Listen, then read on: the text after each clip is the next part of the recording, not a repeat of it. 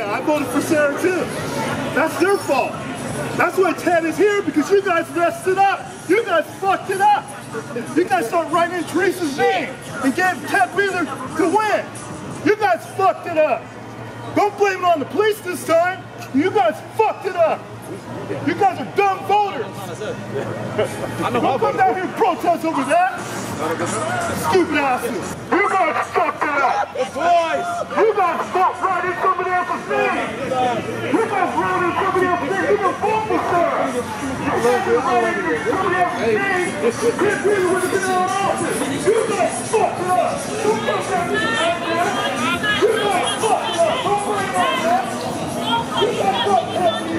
They trying to use BLM over there. Huh? They trying to use BLM over there. Are? Yeah. They fucked it up. I know. Go home. You write nobody's name on, on the ballot. You didn't write nobody's name on the ballot. It up. Stupid voters. Stupid voters. You guys messed it up. Don't come down here and protest over that. What you guys screwed up.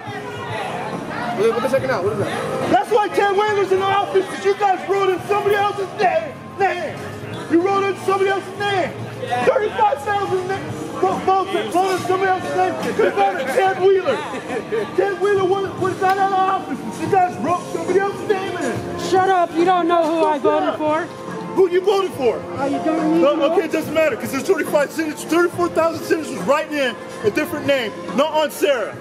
Those 35,000 votes could have went to Tad Wheeler and Ted, um, excuse me, went to Sarah, and Ted Wheeler would have been in office right now.